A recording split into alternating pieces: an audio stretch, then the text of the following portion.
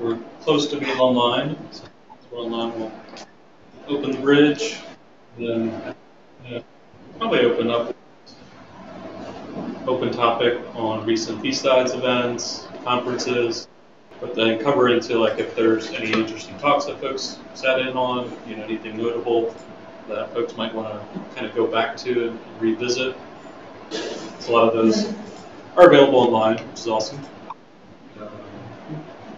And then, of course, upcoming security conferences. If there's anything. Eric, you went to B-Sides Augusta, right? No, I was. Oh, that's right, you slept in. I slept in right past my alarm. Didn't somebody? Yeah, better than I did. Okay, Yeah. so you can tell us about that. I regretted it too. I'm like texting Ben, he's like, I'm in line con, and. I'm like, I should be in line con. Yeah. Snuck up on me. Just lost track of time. Yeah, I mean, I didn't have a ticket, so it wasn't on my radar until like Monday, you know, so it was already kind of like abrupt planning. 450 is what they limited It's the attendance to this year, But which was, Mike asked me about it, and I was like, it felt like 2019. Like there were some masks and stuff around, but it well, felt like yeah, yeah, it was very much, Because It was very much so. it was what, like, 2,000, 2,000, 2,000? yeah, It was packed. But Yeah. the flow and everything Yeah. still felt like yeah, it did, it did. Well, see, though, so the problem this year that they had was because of that construction on the backside of Area One, Yeah. you couldn't flow all the way around. So everything was kind of stuck into small spaces. Mm-hmm. And so you, one of the things we had to discuss was, okay, how are we going to get people to flow into sup, into lunch, eat, and then get back out without there being this continued cross log jam Yeah. because you couldn't go Chad around. Like walked all the way up to the, realizing the- there's a whole giant tarp blocking off the walkway, and then we Yeah. had to go back. Yeah. Until Yeah, reached well, and that's been a problem they've historically had down there is they don't do a very good job of putting up signage outside of, hey, you're here at this thing, follow these signs to get over to where you need to go. Mm-hmm. And so you walk up on the wrong side of the building and find out you gotta go all the way around, but it's blocked by construction and It's so you an can't. amazing building. Yeah. Oh, it is. Like, It's, if we had that in That is Greenville, holy smokes. that'd be Yeah. awesome. oh yeah, it is, it is a beautiful setup that they have down there. So when they have higher attendance, do they have more tracks or just more people in each each track? No, the track count is pretty much exactly the same. You just have bigger groups in them. Um, in 2019, they had 970 something people in 2019 that were there for the conference, and it was a madhouse. It really felt Yeah, like that. Again, so they they were putting out these fancy badges, trying to keep up with um, the big DEF CON out in Las Vegas. So we're putting out these badges. We only bought half, they only bought half the parts for building badges. So everybody's getting a badge and everybody's trying to go over and get parts. And the boxes of parts disappeared in like the first half hour. No way. So it was, you know, and then of course everybody's bothered because all these people were signing up for the slots, slots to go upstairs to build their badge, and they hadn't even gone over and gotten a box of parts yet. Well, by the time they figured out they needed parts, they went to get a box of parts, and there were no parts left because everybody else had picked up the boxes of parts and not built it. So there were some issues, and that's why this year the badges were much more minimal than what they were. You only actually ended up putting so the leaf piece that pulls off Yeah. is the only thing this year that you put parts on. Um, last year it was a binary. I mean, 2019 it was a binary clock build that had an That is so Arduino many controller. Like, how long did it take them on average to get through that? We still were able to have them all build it in 45 minutes apiece. Holy smokes. Each session was still 45 minutes in 2019. Just And- out. You only need the hours. You're good. So, well, so again though, it was it was still pretty simplistic. The hardest part, the hardest part then was the number of LEDs Yeah. that you were putting on it. Because if I remember right, I think you had like 20 LEDs. and these all came. Well, those are surface right? mount, Surface yeah. mount, yeah. So there's no way you could have taught somebody how to surface mount components You can't teach them. um, in a 45 minute class. It's hard enough to teach them how to solder. Surface mount, you burn the components up by the time half of them would have figured out what was going on. Um, so these guys preloaded all the surface mount stuff, so you had the resistor the resistors and the LEDs on the bottom piece. So you were just putting the socket in and building the top piece. So you only, had- to this year, you only had what, fourteen components? Ten compo, twelve components, something like that to put in place, Yeah. wasn't bad. The thing I learned uh, this B-sides was uh, soldering. I put together the badge. I'd never done that before. So in 2019, I got the badge, but I didn't get the kit, and then I didn't get the time slot because once everybody realized they were doing badge building at B-sides, was that the first time they did It build the was. badge? B-sides? It was, and it was the first time doing it, and so only bought kits for half the badges. This is going to be interesting. in And that. so it was, you know, because they were like, well, we only have so many slots to do badges in, so we're only gonna order so many kits for the badges. But then they opened the slots up to anybody who Oh, wanted to sign up for it, so we had people coming up to the soldering thing and didn't have any parts. Because they hadn't bought the parts, but they'd signed up and filled in all the slots to build you guys look at that, but So. I mean, it, it was pretty fun. And it's a cool company. I mean, that's the Yeah. one thing that's, this, this company is, this company is really neat. They're out of Augusta, Georgia. They, you can, you can give them a schematic, give them the design, they'll build the whole board for you. They'll preload parts or send you the kits to put your own parts in it.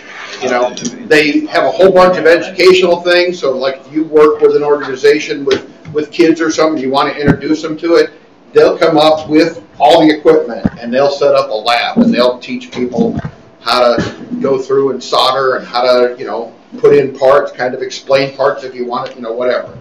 Badge in 2019 was actually a, uh, a mini Arduino controller because you, you could go in there. So it had a programmed pattern and it counted down a clock using binary. So your LEDs were giving you binary indicators and you were getting a clock from that. But you could plug in a regular Arduino controller and you could reprogram the chip to make it ultimately be, do whatever you wanted to with it. So it was really kind of a cool, cool system that they did last time. Uh, and I meant to bring in, I have a Sega Nomad, so I do retro gaming, as reference all too many hobbies.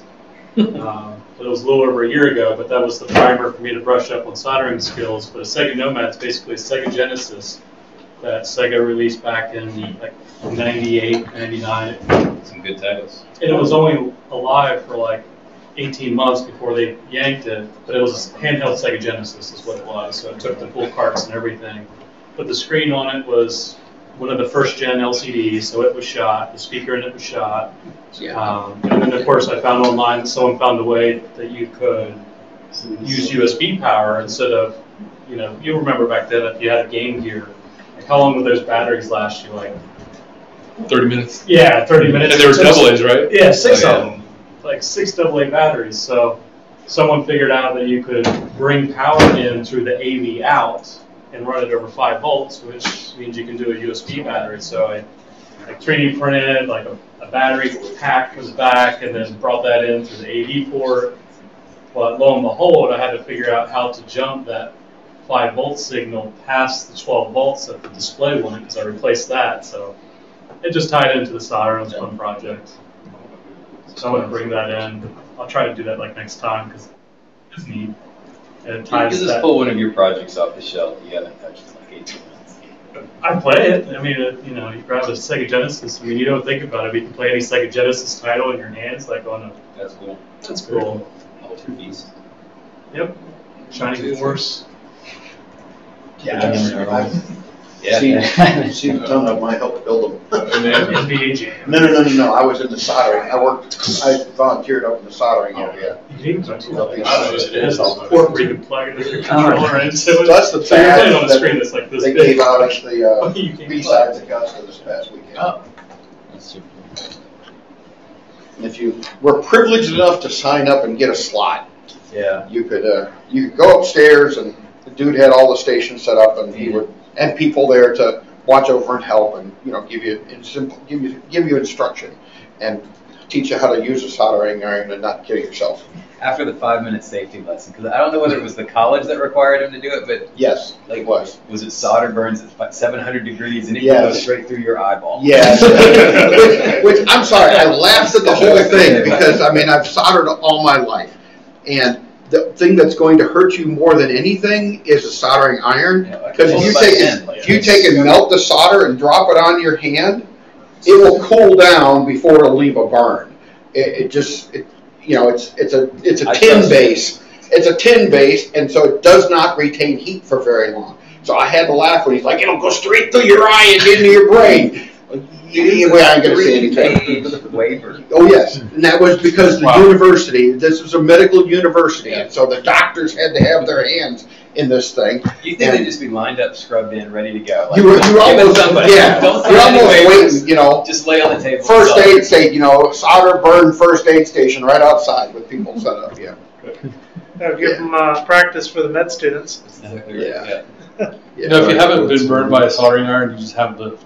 Yeah. I, I don't understand it. Yeah. Right. And you gotta spit on them. That's just Yeah. the most fun. Now the smell. Like, pull a hair off. Yeah. Oh, the smell. Yeah, yeah, it won't, it won't melt solder. Mm. it won't melt solder, but it'll start tables on fire, it'll, you know, all kinds of other wonderful things. Guess I have to get burned by soldering iron. Haven't lived. Haven't lived And you don't have to have a friend to help you. You, you just get Just burned on your own. yourself. Just a matter of time. go, go buy one, don't read the instruction No. manual, Figure it out on your own. plug it in and pick it up, and you'll kind of figure out pretty quickly whether you did it the correct way or not. Then I'll do it. So, so as Eric will tell you, one of the things that troubleshooting tech, uh, electronics helps you with is helps you build that pathway of finding out how am I going to go after this problem. You kind of figure out, okay, hey, we need to start here and work our way through it, eliminating issues as you go through. And it's the same thing we do whether we're doing pen testing, whether you're doing blue teaming, whether you're, I'm doing my GRC. We're trying to, you know, find out what's going to give me the best, you know, what can I get rid of the most of here? Hey, I'm going to do this thing and it's going to get rid of 50% of my problems. I'd rather focus on that than the thing that's going to do 5% of my problems right now. And that's basically on electronics. Once you kind of understand how stuff works, you can get in there and you can eliminate big percentages just by certain, you know, certain pathways. And while you maybe don't come away with, hey, I fully understand how this computer works and how all the signals work and how all the buses work and all that other stuff, it's that, okay, this is just an electronic device, so when it doesn't want to boot up, where do I start out? What, what's a process that I can go through to try to troubleshoot and figure out where my problem is as to why it's not working? My, my interest is kind of back in like, how can you apply like hardware manipulation towards, Yes. you know, bypass techniques? Yeah. Because you have a badge access at, at you know, Oh, that's yeah, the you love- easiest thing I'm thinking of right now. the theory of the badge access, you know, I, even earlier today, like I talked about how did I get it through the door? I did the John Connor. I freaking broke out my little notebook here and tapped it in and had it crack the code. And after the dial-up sound finished. Oh, it was amazing. but you look at it more at technology that is accessible to us. You know how much you know these Echo Dots or like IoT devices that. Yeah, like it's coming around that there is like pressure from Gov, but other areas to enforce some security measures on these devices. But at the same time, like how strong are some of them, and what can you do when you really crack open the case and start looking under the hood and apply both the duality of understanding of electronic components and understanding of like firmware OSs, like super, like a lot of them are running super trimmed down, purpose built Linux distros or BSD distros. What can you do when you apply both skill sets?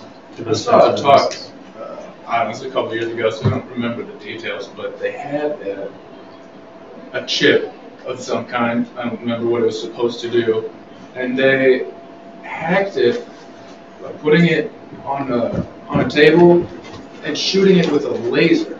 Yeah. And they specifically timed the laser to like do a bit flip at a certain point in the algorithm.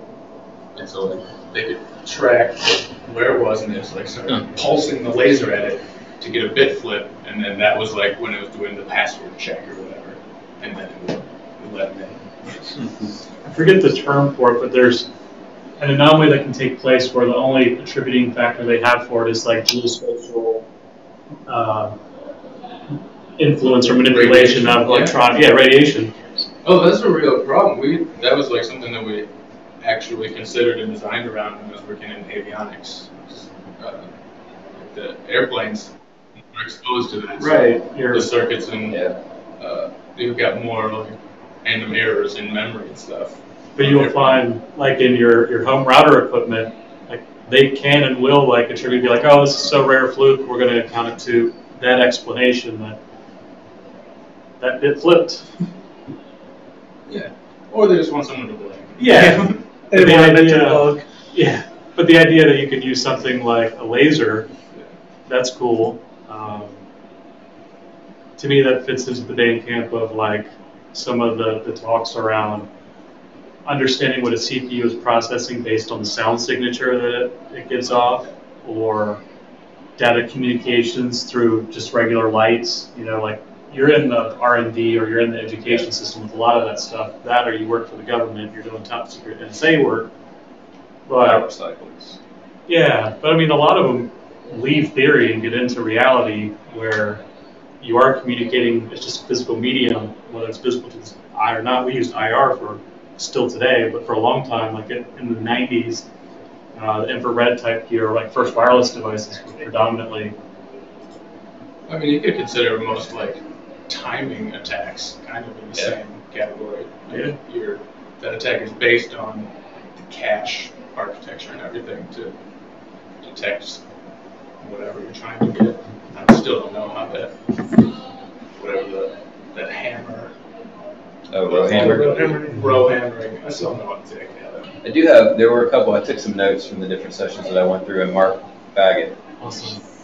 yeah, had uh, three tools for threat hunting. And he was just flying through the tools, like just throwing up as much as he could on the screen and just running through them. I'll summarize it and drop it. Who did the talk? I'll show it. He's a SANS instructor. Okay. I think it's What? Oggett? Same. SANS. Sands Institute, the bridge version, most expensive place you can get the most awesome training. You can pay for it. It's super expensive Secure because. annual, annual numbers. I can't, I can't think of it. Yeah. Anyway. I think it's Bangladesh. Bangladesh, yeah. But when given the opportunity of feast or famine and DoD dollars are at your doorstep, I mean, And SANS charges what they charge purely based, you know, in my Oh, opinion, yeah. they have government contracts. Like they, they have a constant stream. That check is being paid, so they have no reason to make. So what are the other? So my note for this next session that I took was Threat Matrix by I'm not gonna say the name of the person, but it was Black Lantern Security. But um, it was a really interesting presentation. But he had a slide that is definitely accurate to what the content was about because it, was all talking about threat matrix, like how do you build a threat matrix? And the slide was cause of death, Microsoft Excel. and the end result of this great app that looked like it came out of The Matrix, the, the movie The Matrix, was it produced an Excel spreadsheet that, did- that had all the, the craziness for you already in there. It was wild. Uh, I guess there were two in particular that stood out to me. Um, one was titled "Confidently Measuring Attack Technique Coverage by Asking Better Questions." That's by uh, Matt Graeber um, at Red Canary. Um, so, the just a couple of bullet points. Uh, The whole talk was really about thinking um, or asking the questions, like diving deeper into how could how could attackers use these techniques to better defend against them. Um, and one thing that he was talking about is, okay, so once you've identified um, a technique, what are the variables within that, and what are the things that are uh, more static? So um, the things that they have more control over changing within the technique, that's going to be harder for you to defend against because I mean there could be so many permutations of how they might pull that off. Um, so if you can set those aside and identify what are the what are the required pieces or the, or the static pieces of this attack because then you can watch for those so whether those are particular strings within commands with those particular um, you know file types that they might use and you can then be watching for those more easily um, than watching for those variable parts uh, and then there was um, another talk that as someone who is looking to get into the industry and be an employee for the first time in almost 12 years, um, resumes. I mean, I haven't dealt with a resume in who knows how long. But um, is anyone is anyone even interested in hearing about resumes? Because I'm not going to go through this. There's one person. So um, I won't go through all of these. The um, by the way, these talks are all now on YouTube. Um, so if you go to bsidesgreenville.com, they've got a link to their YouTube channel, and they have all these on there. So, um, but uh, some things that so this was Stephen Semmelroth, um, who apparently ran a, a um, infosec recruiting firm for some number of years. He doesn't anymore, but it sounds like he had until the last year or two. Um, so he was talking about uh, don't bother with kind of summaries or objectives in a resume that the recruiters don't look at those. Um, he was very much against the functional resume, which is so the, the typical resume is chronological. You just have your most recent job to your oldest job. Um, and he does say do that um, while emphasizing skills within that. Because um, there's this other school of thought, which is, oh, do a functional resume and kind of forget the chronology and just talk about what you're interested in or what your what your skills are, what your experience is. And, um, and I have heard that recommended by other people, so it was interesting to see or hear him say that's just very confusing, and recruiters don't want to waste their time trying to figure out. And he said usually when people are trying to do that, it's because they're trying to hide something. So either they and, and it's not necessarily like a bad thing, right? It could be someone taking off time to raise their kids for a few years and they now are coming back into the industry or whatever. But because it sometimes can be, you know, you were incarcerated for a certain amount of time or, or whatever, um, that Best years of my life. they uh, I got this next tattoo. so be- because there's the possibility that you might be hiding something, um, hacking stuff. We learned. there's the risk of, of that. Is they might take a closer look at it, or just say, I'm not going to waste my time with that because it's it's more risky. Is that something that's being seen more now? From the The functional functional resume thing? I mean, I wasn't familiar with it, but I've not. Yeah, I. It's only been over the last couple of months as I've been looking more into um, the employment side of things and you know what recruiters look for, what do hiring managers look for, that I started hearing about functional resumes. So I don't know if that's just I've been unaware, um, or if it is a newer So for me, since, I mean, I've never had an IT job, not in IT at all, I'm trying to get in. Um, I have the chronological, so my recent job, what I have now, to least recent.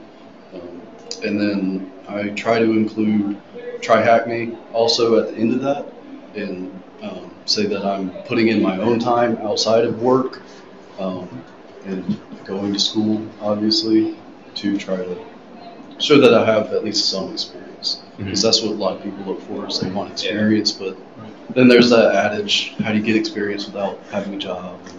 You might reverse those. I mean, if your jobs aren't adequate, put them in there to show you have you work for places you've taken on responsibility for, but Mhm. but maybe put those experiences that you've you know self learning up front. I mean, you still have the job thing, but just put Page that. I would- one, Yeah. out of, you're all on more than one page, but to Eric's point, put front and center on what's relevant. Yep. And that's gonna be your education, that's gonna be what you have been doing, like, if, you definitely wanna try to find any creative means that is legitimate of your latest or current job that you can align to the job that you want next. So I might not be in IT, but maybe I do some IT-like things, like I'm the guy in my department that helps fix the problems that my peer has, or I'm an advanced user that has been doing like process improvements in my role or in my lane. You know, it, it all depends on what you're doing. Yeah. But if you can find that alignment, work that in, that's the best you can do in that position. Bring up to the top. The more- relevant stuff. Yeah, what's relevant. Okay. Um, And like even listing like the, the groups that you're a member of, like ISA and DEF CON 864, I mean those those carry weight too. I mean I hope Harvard does. Like, for all the jokes I crack in here, I mean I do really want this to be. I think all of us who are leads emphasize this is something we want to be a cultivation point, actually for all of us. Well, I think it, it can also just show that if you're spending your spare time Yeah. to investigate this, you're you're a curious person and you're a person that's going to dig into things. You're not just someone who's It's just showing up to, to for eight hours and then going home. Constantly learning. Yeah, and that was one thing that he brought up as well as kind of those extracurriculars, so the CTFs or the side projects and things.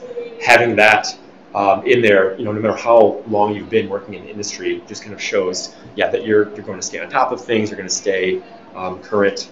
Um, yeah, you have the passion for the field. If you're doing any type of scripting or learning or projects, GitHub or you know GitLab. Yeah. But just like LinkedIn's now a, a normal thing on your resume, like right underneath of that for me is my GitHub, because why not? I'm not a developer by trade, but I do a good bit of scripting just out of my own personal use, and I align it to work too. But it showcases a skill set that I might not put front and center in the right in the words of my resume, but as a whole resource that if the right person were to look at it, they'd be like, "Holy crap, this dude codes." Yeah. So brand new to LinkedIn, and this might sound like a weird question. Is it normal to add LinkedIn um, URL to a resume? Yes. Yeah, I just leave off the like HTTPS and stuff and just put it with whatever your name is. slash in, in, and then you can customize what you want the last to be. Usually most of them taken, so if you have a common name, but you might be able to use just your first and last name. Maybe add one number. I mean, I wouldn't put like your birth year or anything on there, but. Gotcha. So security. Did he say anything? Because you were mentioning not to have like your, um, like your mission statement or some of those other things that were at the top. Did he say anything about like, um, your pur, like, the purpose statements, those kind of things? Um, I know he said um, the summer, a, a summary or objective. Um, Aren't needed. What right? He said they won't read it, uh, but then later, let's see, when he was going It's crazy through. because I've heard some people say that's where you put all the keywords. That's where you really talk up what you, how And it's, are you writing to the recruiter or are you writing to the hiring manager? Because I can tell you, I'm more often than not lately on the resume reading side and have been for a number of years. I want a summary, short, succinct, that describes you. If you have it, great, I'll read it. If it's not there, I'm not going to dot points off of you.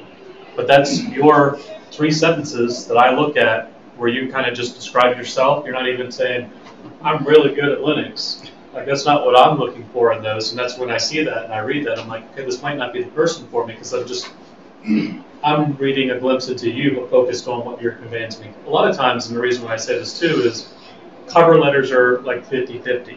Mhm. Like even if I get a cover letter 75% of the time, the potential of it being something worth me reading is more 50% chance it's not worth me reading as opposed to is. Because I can tell you in the first three sentences whether or not the person took the time to write me or I got a cookie cutter of what they are sending everybody. So your first three, if you got that summary, I'm at least going to read that. And then I'm going to start skimming. And that's what every hiring manager is going to do, skim. I I think you need to take everything he says similar off with uh, like a grain of salt. He did a veterans um, webinar, and I just thought it was kind of unprofessional. He's drinking a beer on stream while giving like a like professional talk. So I just, uh, A big Like- difference, sorry. uh, he's like he has an impressive resume. He's a West Point grad, and uh, he served in the army and stuff. But I just, I don't know, I don't think drinking and stuff is on. on the, to me, a recruiter, day in and day out, is looking at resumes. But he said, I think, wasn't he the one with the tagline? It's like, I've looked at a thousand resumes in a year or something like that. I don't know. I missed the first few uh, minutes of the talk, so he may have said something like was like a that. ridiculous number, I think. So the how you go to dissect that document is going to be very different based on how often you're doing it. I'm doing it a few times a quarter, around that, maybe. He's doing it a thousand times in a year.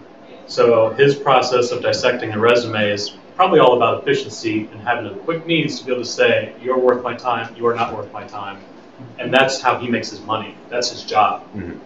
To me, when it lands on my like on my side, and ultimately who it's going to land on when it gets past that recruiter to who's going to make an actual decision, they're going to spend a little bit more time. Now, granted, they're still going to spend a finite amount of time as to what you put into that resume.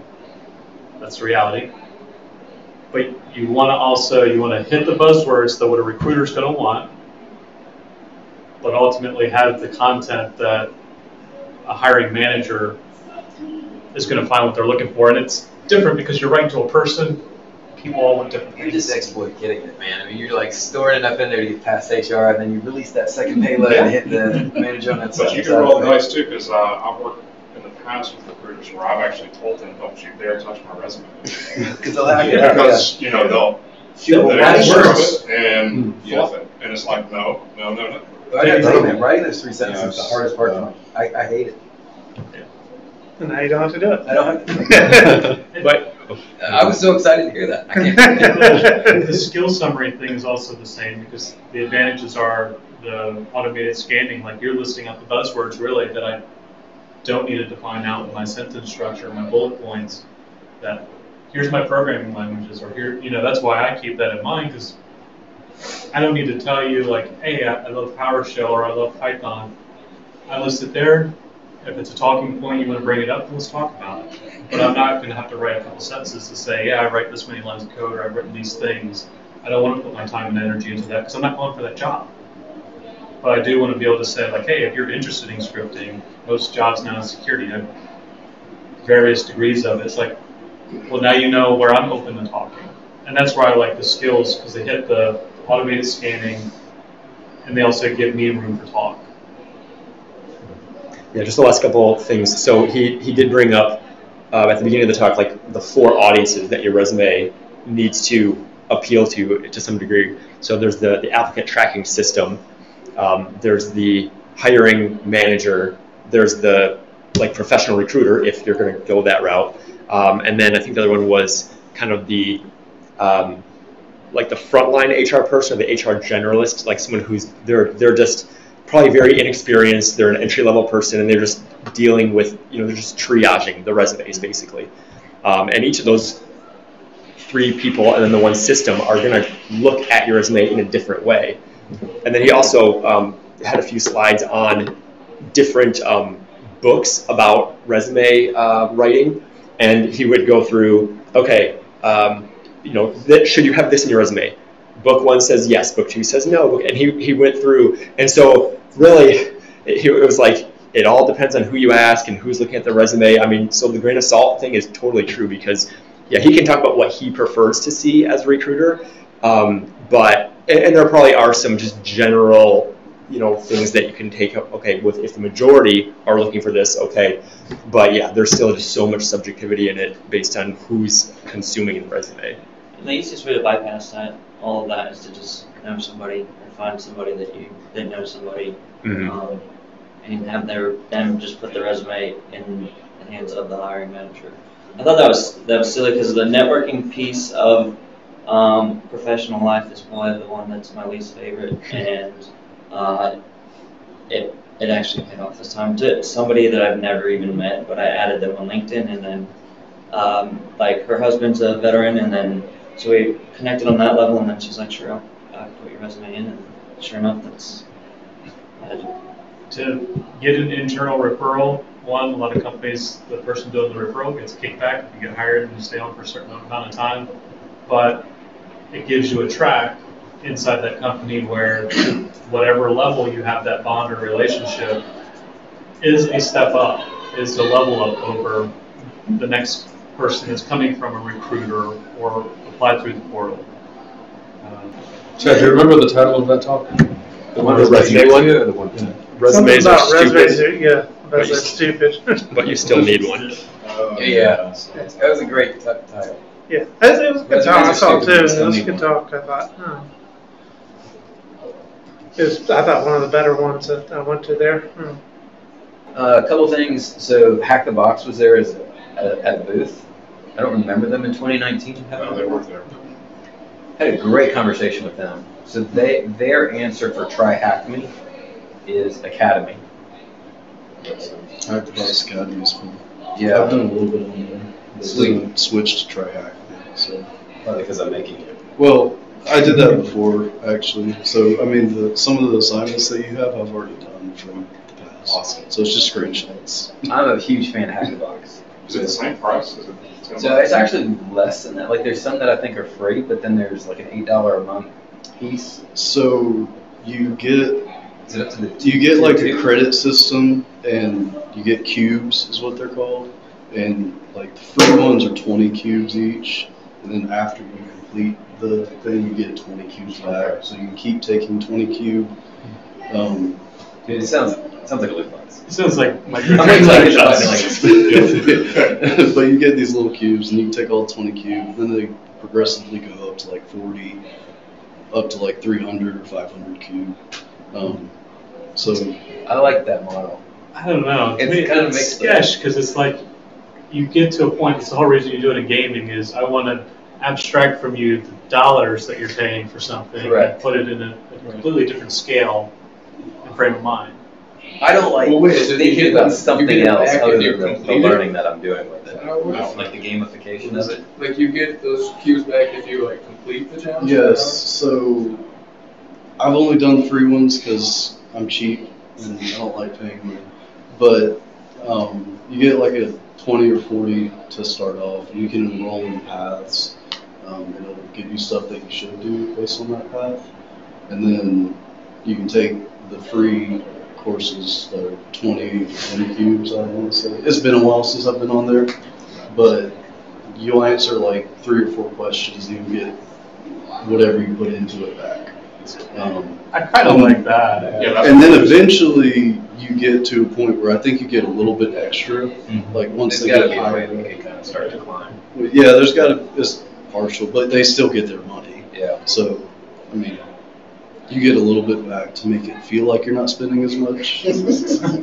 And I did notice, like even before that, when they did the site redesign, they added that whole starter tier yes. you know, inside the. Yeah. So what's the main difference between Try Hack Me and Hack the Box? And it's just I think TryHack was more beginner friendly, at least for I totally me. agree with that. Yeah. I totally agree with that. Like if you just box. if you just want to learn and have a nice structured walkthrough approach, that's try hack. Yeah. If, if you're okay, like doing your own Google research and coming back and trying something and beating your head against the desk, If you like being thrown in the middle of the uh, ocean with no life support, hack the box is good. Yeah. or with Two 50 other other drowning people the that are like box. saturating your connection. I love it. I hate that. But they got good YouTube channels, so you're not on your own on Hack Yeah. the Box. Yeah. If you you can hit those old boxes that people have put content up, and, And they're using the same boxes and try hack me. It's the same. It's the A lot of them are. They're Yeah. European though, right? So it's eight dollars in Euro, euros, but so it equals about eleven. It's like ten dollars. Yeah. And I, I do the VIP subscription, so you don't have the saturated, like shared connection where you, somebody's like constantly telling you, I want to Yeah. reboot the box, I want to reboot the box, there must be something wrong with the box. Like that gets You know, that was something that I talked with insane. Luke about a while back was, you know, we sat mm-hmm. down and it was like calculating, you know, the amount of money that Try Hack Me is making, the number of users. There shouldn't be any problem with performance, and then you get on there and it's horrible, Yeah. absolutely horrible. So they need to fix that. Hatbox does now have a new enterprise tier, which is weird um, in a way, but it's like if you're running a pen test company or a team scenario, you can have your whole team in there and your boss can have a dashboard, which we all want, right? We want the They, boss to be able to assign boxes and stuff out to people to do. They also have um, schools that compete uh, as well on there. We have a team. We need to do something with that team. They did say that, so that I, I compliment them on that battlegrounds that happened a couple of three months ago or so, where you, you actually got to see IppSec's face. That's how I felt about that. but uh, yeah, John Hammond was the other one. So they've got another one of those coming up October the 22nd, and then there's going to be a university CTF event that's also going to be live streamed on YouTube from them. And I think IppSec, they said IppSec and um, John Hammond are going to be the moderators again too, Nice. which is kind of cool. I kind of like that e-sport aspect of it. You should have given them some flack though, because I reached out to them to get sponsors when we were doing our CTF, CTF. and they left us cold. They didn't have a car, but they. They didn't have any a CTF. swag either. They didn't have any swag either. Nothing. Yeah, that was, that was the downside this year. is They had It amazing was pretty much, t-shirts. it was pretty much swagless this year. Red I got Canary, a Red Canary onion had some good shirts. squishy. Wow. Yeah. So Did they have any giveaways or any prizes? at the end? They had giveaways. Yeah, during the talks. Oh. I gave your wife all my tickets when I was leaving. Oh yeah, yeah, we didn't win anything. That's, that, that's because they were my tickets. I wasn't banking on it. Yeah, we checked, but no.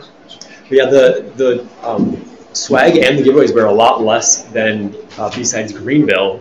Um, Yeah. The last B-Sides Greenville, because um, yeah, I had heard this is the first time that I went to Augusta and I heard like, oh, it's everything's bigger and better than Greenville, and it's now obviously this was a scaled down version because of COVID, and they did mention um, I think in the opening remarks that they actually lost money on B-Sides this year, if I if I heard that right. Wow. Um, and I don't know if that was just ticket sales, if that was lack of sponsors, Probably or vendor. what went into Yeah, that. I think they but- said sponsor. It was lack of vendors. It- We were Yeah. very, it was very light on vendors. There were only eight There weren't many. maybe ten vendors, Spread that's out. it. And in 2019, there were probably 35 or 40 Hmm. vendors, and some of those vendors were giving out some pretty impressive swag. You know, you drop your business card in the fishbowl, at the end of the day, we'll pull it out, and, you know, we'll, we'll give it I out. mean, they were you know. doing what, drones? Yeah. Yeah, well, last year, they had 2019, they had a drone in the raffle too. Yeah. And, uh, you know, had a, had a pineapple in the raffle and all that type of stuff Yep. in 2019. This year, they were, they had a couple network taps, and that was about the most impressive electronic stuff they had. The Hak5 Right. pineapple. Is Yeah. that the pine- Yeah. They had the Bash Bunny. And I, they had a CTF. I didn't go up. They did. I didn't Yeah, take it a was look in at the the, CTF. it was in the fourth area. I never, that's not my thing, so I don't usually do much with it. I miss not having the car. I thought the car in 2019, being able to hack the Lexus and, you know, make the doors That and was windows go awesome. up and down and all that good stuff was kind of cool. So, how about for any folks here who go to B-side Charlotte? I, I haven't moved it in, but it, it was all right. Anything notable, like any standouts? That was the swag. it was. I mean, it was virtual. They show you pictures. You're like, check out this sweet. We're gonna send you a picture of what you want. They still sent you one of those rope bags that you could wear. I did like that they recorded it previously and just played it during it versus trying to do it live so that you didn't have technical issues as much. I thought that was a. And they also streamed it to YouTube so you could just put it up on the What did they do TV. With the first. Huh? What did they? What did they do first? They recorded it They first. rec- yeah, they recorded all the talks earlier, so the Oh, people that's- who were doing the talk could actually be in the chat room during the talk, and mm-hmm. like, and plus if they had technical issues, they could you know pause and figure that out. Versus, you know, a lot of times virtual, you tend to have. Next week, my company, we're doing our three days virtual security conference. Or we did it the same style. Mm-hmm. So do all your recordings and then you just hop on and you facilitate chats. and all Yeah. that stuff. There was this one lady, she was just like chatting away, and I was like, man, how is she doing that while giving the talk? Finally it dawned on Making eye me. contact with the camera. Finally dawned on me. I was like, oh, I bet these are pre-recorded. And then something later made that very obvious. Webinar or We do like a, now we brand it security conference, but like a, Logcon. most ven- like vendors, they do their own like conference, you know, VMware, Splunk, all those. But yeah, log them when, when is that? Tuesday. I'll send you a link. Okay, yeah. I know that company is Yeah. using that software, so you can hop on. I have a talk on there, so you can tune in on my Awesome. talk. There would you do that. go. so plug there. Hey. Um, You get to log this as an hour for work. yeah. It's my talk is like 36 minutes. That's it. It's very precise too. Well, Not 37, not 35. I was doing the editing today. That's why it's like fresh in the head. Oh, it's recorded. kind of on the, the talk side, because started off with the B-Sides, was that, that was 2019. Mhm. Yeah. So Ben and I both signed up and we gave, Are you're doing a talk this year, right? Yeah.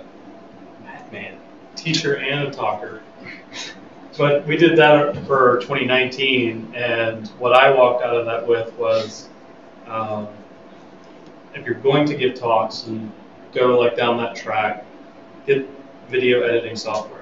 Uh, get something like Camtasia, or get something that's in that area that's consumer friendly, but basically gives you the utilities. There's open source too, but start using something like that. Put it in your wheelhouse because the skills of just being able to use that like has been invaluable for me. And when I look at everything else, like you peers and everyone else, you're like, no one else is really doing this, but the little touches make the difference. You know, oh, I had a, a blue, especially you're doing pre-recorded stuff. Like, oh, I had one moment in there that was I brain farted. Mm-hmm. I can fix that. Or what I did this time was I was like, oh, it would have been great if I worked a question in right here.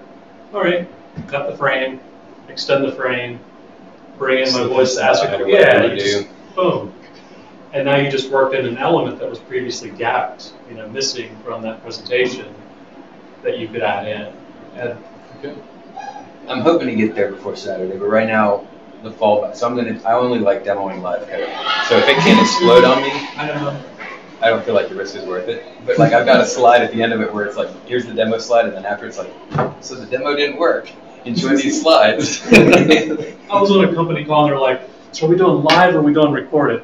And everyone's like, recorded. I'm like, live. And they're like, Heck yeah. why would you want live? I'm like, Pressure. Look, everybody likes watching a real fire. I mean, right. Like, let me hit like the enter line on my demo, like on my, my code, and let's see if it can actually work the one time I need it to. It works every other time. yeah. Yeah. But when it's not going to work, it's going to work. Not going to work there. But it's adrenaline. I put a big bug in the code this morning, and I had to go to work, and I was like, I've got to fix that. Like, oh. Nice. I think another point to add on the video is to have a, at least one peer review, Yeah. you know. Because it's hard to catch your own stuff. Goes for your resumes too. Yes. Doesn't need to be video. It can be text. video resume would be good. It'd be different. It would be different. I don't think it'd make it through the automated systems that they feed in your PDF. Just name it .pdf. What I want to do is take my resume and make it just an image and then have that in a Word doc. so Charlotte was kind of a, nothing stood out. I mean, it's been a little while, so I can't, but obviously that Didn't probably indicates, impression. uh, um, Anyone else from B-Sides Charlotte? Standouts? A couple of good recordings, moderately good recordings. They're up on YouTube now. Uh, nothing that that makes me want to say you've got to see this right now. Okay. B-Sides Greenville. What do we got? Everything. You got to watch it all. So what is what are talks do we have here? We got two speakers. So what do we got from Mr. Reporter? I'm covering that auto report tool that I started showing, so I've added a boatload of new functionality. Nice. So it basically is a full doc, note-taking and documentation suite for pen testing from pre-engagement to post-engagement, including report writing at the very end, like wrapping that up. Dang. So I incorporated a lot of Luke's feedback and uh, Nick Cage 710's feedback um, that they had given during the little DEF CON demo that I gave here. But uh, yeah, it's, I'm I'm optimistic. Uh, I'm at least going to show it. I wrote code and it kind of works. I remember So it, was a tool you made? Yeah. kind of made it kind of worked before, so I imagine it works even a little bit better now. So And as soon as I'm That's done with the presentation, worse as refactoring all of it. it's kind of like drinking in, in pool. For those that drink and those that play pool, there's this Oh, oh, Reality. Swimming, but- Billiards. Yeah, it gets better for a little while, and then, and right. There's a curve. Then at Once you some hit a point it certain becomes a point, kitchen it- sink. Once you hit the curve, it, Yeah. hit the curve. I think software is the same. Like you write more code, and it gets better. But once you start writing more code, it gets And at worse. some point you say, I'm gonna start over and redo this whole thing. Make it better from scratch. Yes, exactly. And introduce all sorts of new bugs. Uh, definitely like that. Yeah, I'm, I'm optimistic. And you're you're speaking. Yeah, mine, mine is on getting started, getting started in GRC. Just, you know, I know when I came into the industry, that was really the rough spot for me is, you know, you had all these places that would sell you GRC packages, but there really wasn't a, hey, how do I, how do I get in this space and why do I want to get in the space? Uh, And so that's, that's what my talk is gonna be from is, you know, why? Why, why do GRC? You know, defining what it is and explaining kind of, hey, you know, like one of the things that I found was kind of interesting is just a quick search on ZipRecruiter, put in GRC, and it immediately came up with almost 6,000 jobs with a, with a uh, salary range between 107 and 121,000 dollars. Solid. And for the audience, Just for putting GRC in, which is kind of, you know, to me, I thought was kind of amazing that I know we got that that one's students out in there. in various walks of life. Can you summarize GRC? Like it's an acronym, so Yeah, so GRC stands for Governance, Risk, Compliance. So Just looked at that. from my point of view, GRC is the plan to hack. The plan, it's, we're looking at it and saying, what are the things that we have to protect and, you know, what are the things we want to protect and how do we want to protect them? But really, it's also giving the guidance to the people who are protecting us, hey, what have we determined is got the highest risk value, and so that's what you need to put your focus on, being able to protect for us and keep the bad guys from getting to. So I see it as kind of the beginning of the penetration testing and the hack side of it, because you're laying out the groundwork to then work for or against, you From the corporate perspective, I've loved working, so I, I report directly to the head of GRC. And so when it comes to any of the findings that we have on any of our reports, it has immediate connection into the business. Because that risk is now translated, um, so they help that narration for us. Well, that's the thing, that's, what- that is kind of neat to me about GRC, is I can sit down and write up all these wonderful profiles, all these wonderful documents, which the government wants fifty-seven thousand documents. Most companies will write them, they'll go out to some third-party company, get their stuff, write it, it'll sit on a shelf, and it'll never get touched by anybody, but we're gonna say we're compliant because I've got, here's my sixty-seven books. But it's really kind of like your pen testing. You could be a good pen tester this week, but if you don't keep improving your skills, you're slowly going to get worse and worse and worse. And GRC is exactly the same thing. Once I finish writing a policy, I've got to be going back out and looking at the policy and what were we covering, what has changed, what needs to change because of new threats or new events that are going on. So, you know, it's it's almost the same as pen testing, except I'm just doing it with a bunch of stuff on paper and helping to define what the risks to the organization are. Thank you for That's- explaining. Go ahead. I just said thank you for explaining. Yeah. And that tying it to the business and ultimately tying it to money, businesses run off money. Make no mistakes. Like that's it. Um, no matter how noble, not you know. Except DEF CON 864, we run off swag. That's right. Yes. um, That's why we're not a business. We're not- That's why nobody likes other But whether you're, you know, a professional penetration tester, like you can hack a system, you know, and to you, it's the thrill of, you know, there's a weakness here, can I find it, can I exploit it, can I get in? And once you are, you know, that's the goal, but you write up this report, what's the ultimate goal? Well, to the company that you're doing this for, it's, they want to know their risk, they want to know, like, what can you do even when you're not supposed to do it? And anywhere where you can tie things to money, quantify it. Blue teamer or red teamer, like say on Luke's side, that he got into, you know, a database system and he was able to exfiltrate a set number of records that contain PII. That means in his report, one, he's got quantifiable metrics of what he was able to extract. And if he was so inclined, he could also say, well, here's what that value looks like on, you know, the dark market. And also, here are some figures related to what reputation damages typically come with this to you financially, given your business sector with this type of breach.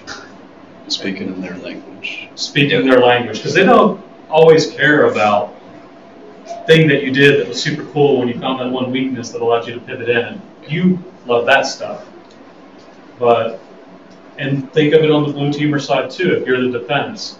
It's how can I quantify this? Whether it's a re- real risk, you know, like, hey, we, we're not patching our systems, we need to patch our systems, and the business is like, oh, we accept the risk. If you can say, hey, you're not patching that system, there's real exploits out in the wild, here's what's on those systems that have those risks. Did you know that if this were to happen, you're going to lose X? Mm-hmm. Business will respond differently. Well, and so much is driven now around you're certified. You know, ISO is the big one you hear in so many industries. ISO is just an offshoot of GRC.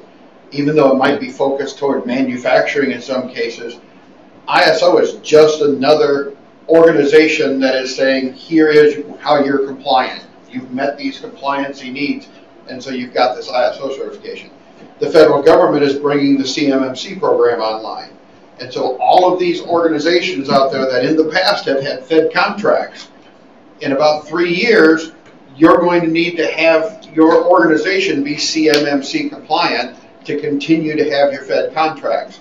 So we're going to talk about jobs that are going to start showing up on the market probably in the mid 100s for certified CMMC investigators and auditors to be able to these people to keep their Fed contracts for schools to keep the Fed Fed research. They're going to have to become CMMC compliant, and they're going to be hiring third-party companies to come in and do this stuff because most of CMMC is a bunch of paperwork, but the other half of CMMC is they're going to walk around your campus and they're going to find out are you teaching and training your people? Um, I have a special place in my heart for it because that's how I entered into this role or into security in general. And um, and what Eric was saying, I relate to as well because when you have that GRC background, you can write a report that answers exactly why this risk should matter instead of saying your stuff is broken, go fix it, or this is not patched, you should patch it, and just end it at that. While someone with GRC experience can link that to business risk and possibly put a dollar value. So it's it's great experience to have, even though um, there were some mind-numbing moments, many of them, in that. Um, and it's not for everyone. It's more of an administrative, legal type of a role. It's it's not very technical, which I missed, and I'm glad I'm in a technical role now. Um, but it's a great foundation for security for anybody who's interested in getting into security. It's uh, it's a good good study to have as a foundational role. Well, if you're looking for a job to self-employ yourself, Oh, shoot, yeah. it's the market to get into because as things advance, every business is going to ultimately need to be able to keep getting insurance from an insurance company.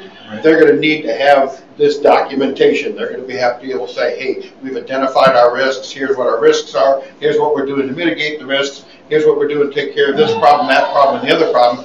Or you're going to find insurance companies not willing to write you an insurance policy anymore. All right, I'm gonna have, my, uh, battery's about to die, so I'm about to lose internet access, so we probably need to go ahead and call it. That's how we call meetings, gentlemen. This is- Live by the- We just run out of internet access. Yeah.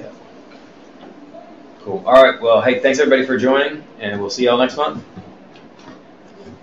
See Mike, everyone thanks, served. uh, And I hope you don't get a laptop with one of those like 12 hour batteries. It's going to make these meetings long.